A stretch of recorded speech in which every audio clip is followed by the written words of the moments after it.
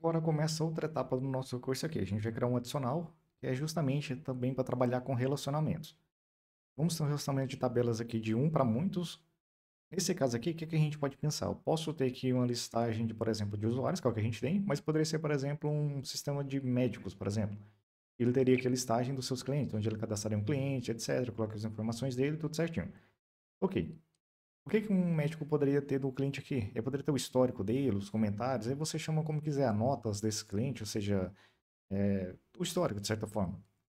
Então, é exatamente o que a gente vai fazer. Eu vou criar uma tabela chamada, por exemplo, comentários, e vai ser os comentários que eu faço a respeito de um usuário, que no caso os pacientes, ou os próprios usuários em si. Enfim, a ideia aqui é que você pegue esse exemplo e depois estenda para qualquer outro caso. É, então, é exatamente o que a gente vai fazer. Então, nós vamos ter uma outra tabela relacionada com a tabela de usuários para armazenar, por exemplo, é, informações adicionais desse usuário. Então, vamos lá. Primeira coisa, um Ctrl J aqui para abrir o terminal do VS Code. Vou acessar o nosso Container App. Todos os comandos a gente roda lá dentro, é importante isso.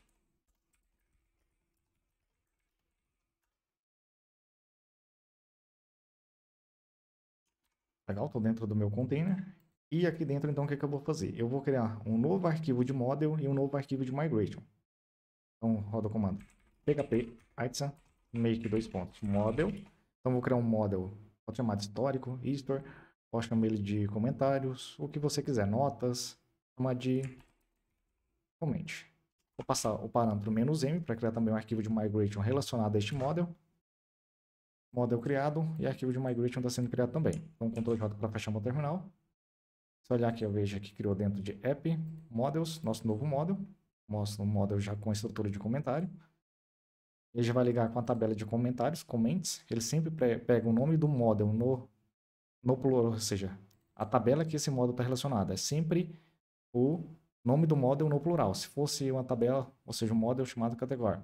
Então, a tabela seria categories. Se fosse product, products e assim por diante. Então, comente.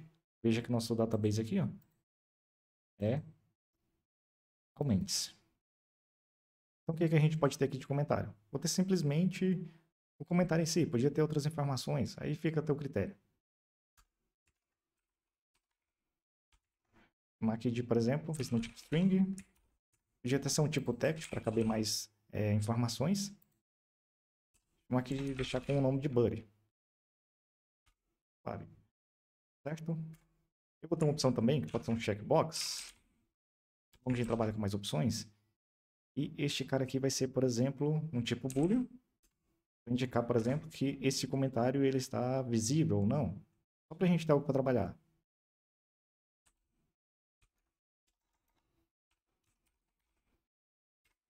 Eu vou deixar um valor default de true. Então, por default, este velho vai estar visível. Legal? Então, a gente tem a estrutura da nossa tabela, estrutura bem simples. Legal? Nosso model está aqui. Lembrando que se, por exemplo, esse model tivesse relacionado com tabela com um nome diferente, talvez eu crie a tabela com um nome português. Você podia criar aqui, ó, protected table com o nome da tabela. Chamada, por exemplo, comentários. Bem ridículo, mas tem essa possibilidade. No caso, eu nem preciso, porque nossa tabela segue uma coerência de nome que bem certo. Então, o que, a gente faz no nosso módulo? Cria aqui o nosso fillable. Vai indicar quais colunas podem ser preenchidas. No caso, pode ser preenchido o body, body e o visível. Visible. Ok? Outra opção que a gente pode ter aqui também é criar aqui o nosso caches esse cast aqui do Laravel, do Eloquent aqui, do model, basicamente o que, que ele vai fazer? Ele vai fazer um cache automático. Então, por exemplo, nosso visible aqui, essa coluna, ela é do tipo boolean. Então, toda vez que eu for inserir, mesmo que eu tente mandar, por exemplo, um string para o meu banco, automaticamente ele faz esse casting e converte esse valor para o tipo boolean. Então, é importante fazer isso. A gente tem essa opção também. Legal?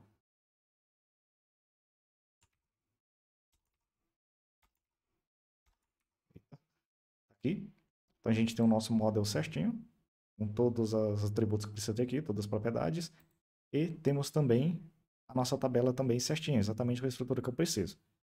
No Ctrl J de novo, abro o meu terminal aqui e rodo o comando php artisan migrate.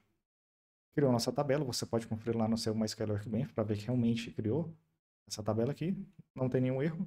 Ah, faltou algo importante. Deve bom ter acontecido isso. É, eu criei nossa tabela de comentários, mas não relacionei ela com a nossa tabela de usuários. Porque um comentário está ligado com o usuário, a gente tem relacionamento de um para muitos. Um comentário é, ou seja, um comentário ligado diretamente com o módulo, com o user, e o user tem vários comentários. Então a gente tem relacionamento de one-to-man. Então, a tabela mais fraca, nesse caso aqui, que vai relacionar com usuários, é justamente nessa tabela de comments. Então tem que ter aqui o ID da tabela de user. Então para isso a gente cria aqui ó, o nosso foreign Existem algumas formas de fazer isso. Veja que ele permite você até fazer um foreign justamente já com um tipo ID. É, o Laravel evoluiu bastante quanto a isso. A gente faz um foreign ID. Existem algumas opções que ele já vai criar. Nesse caso aqui, ele já cria a coluna, que no caso vai chamar user ID. É importante também seguir essa nomenclatura de nomes aqui das suas FKs, sua chave estrangeira, porque vai ficar mais correto. Por exemplo, você sempre pega o nome da tabela que você está relacionando, no caso a gente está relacionando com a tabela user, então eu pego user, eu relaciono com a tabela users, então eu pego user no singular, se fosse categoria. Nossa tabela chamasse, por exemplo, categorias. Aí, a nossa FK deveria chamar category, ou seja, que é o nome dela no singular, underscore ID. Então, no caso é user, então users ID. Automaticamente ele já consegue, então que eu passo um constraint, é relacionar com a tabela users, automaticamente ele já sabe, mas é que eu posso especificar, falar, não, eu vou relacionar com a tabela de users. E o segundo parâmetro opcional é a coluna ID. Então, estou relacionando com a coluna ID da tabela de users. Mas se eu estivesse relacionando com a tabela, com a coluna, eu chamasse, por exemplo, o ID. Poderia passar aqui. Veja aqui o nosso constraint ele permite você passar essas informações. Então, apenas isso. Ok. Alteramos a estrutura dessa tabela. Volto aqui no meu terminal. O que, que eu posso fazer? Eu posso dar aqui o comando migrate, dois pontos, refresh. Ele vai passar no método de todos os arquivos de migrations, ou seja, deletar todas as tabelas e recriar de novo. Eu posso dar o fresh.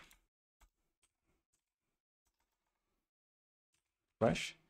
O Fresh aqui, ele vai deletar todas as tabelas e criar de novo. Independente, ele não vai passar pelo nosso rollback. Ou seja, não vai passar aqui pelo esse método down aqui. Ele não vai fazer isso. Ele já vai deletar todas as tabelas dependendo do que tiver. É interessante fazer isso quando você tiver erros. E se eu olhar aqui um PHP Artisan Migrate, PHP Artisan só, a gente ver aqui os comandos. Cadê? Migrate. Aqui, ó. Veja que a gente tem aqui essa opção de rollback. Ele é interessante que você consegue fazer um rollback da última é, migration que a gente mandou. Então, ou seja, na última atualização que a gente fez, a gente criou a tabela, só criou ela errada. Então, se eu fizer um rollback, eu consigo especificar quais, é, quantos passos eu quero voltar, e com isso ele vai desfazer nossa última alteração, ou seja, a última coisa que a gente fez. Aqui, ó. Pegar migrate. Rollback. Veja que ele desfez a nossa tabela de comentários e agora eu posso criar ela de novo. Se você conferir, é importante conferir no banco de dados para ver que realmente não existe essa tabela mais. E agora eu rodo apenas migrate para criar nossa tabela de novo. E nossa tabela de comentários foi recriada, porém agora ela tem AFK, exatamente como tem que ter. Bem importante isso. E para finalizar, o que, que eu vou fazer? Vou dar um Ctrl J aqui. Eu vou criar os relacionamentos. No caso, eu vou vir nossa tabela de user, nosso model de user, que está relacionado à tabela de user, e vou criar aqui nosso relacionamento de um para muitos, one to man, onde eu relaciono o usuário com os comentários, que é importante, por exemplo, quero cadastrar um comentário para o usuário. Então a gente utiliza este método que eu vou acabar de criar aqui agora. E se eu quero, por exemplo, retornar todos os comentários de um usuário, eu utilizo este método. Ele vai ser usado para tudo que for fazer essa relação. Isso é bem importante que ajuda muito na produtividade. Então, crio um método público como a gente está relacionando aqui um relacionamento de um para muitos, é interessante você colocar o nome no plural. Então, chama comments. Aqui você faz um return. Não esqueça esse return. Eu, quando eu comecei com Laravel, muitas vezes esqueci esse return. E o relacionamento de um para muitos, de one to man, é o hash man. Veja que o VS Code te ajuda a completar aqui. Hash man. Aqui a gente passa simplesmente, veja as opções. Ó. Eu passo o nome do relacionamento, ou seja, qual modo eu vou relacionar. E tem os comentários do usuário. Qual que é a FK e qual que é a local key. Então, vou explicar isso. Então, qual que é o nosso... Lembrando que esses detalhes aqui eu explico com mais detalhes lá no curso de Laravel Eloquent. Então, aqui, eu passo o nome do nosso model, comment. Nem precisa importar também os namespace. Qual que é ficar? É user ID. Como a gente já seguiu a nomenclatura de nomes, eu não preciso passar FK. E o terceiro parâmetro opcional aqui é qual que é o local key, ou seja, qual que é a minha chave local. No caso, é a coluna ID. Mas, como a gente já deixou exatamente como tem que ser, então já está tudo certo. Então não preciso passar esses velhos aqui que ele vai pegar por default. Então veja que fica bem mais simples relacionar. Então, agora aqui, a gente tem um lançamento de one to man. Então, retorna os comentários do usuário. E aqui no comments, a gente pode criar o um lançamento de man to one. Ou seja, eu em um comentário específico, quero retornar qual usuário desse comentário. Então, a gente utiliza esse relacionamento. Como retorna um usuário, então a gente deixa o nome no singular. A gente poderia especificar aqui o tipo de retorno também. E qual é o relacionamento de man to one, é o belongs to. Belongs to. E aqui a gente passa o modo. Bastante atenção passar o modo aqui.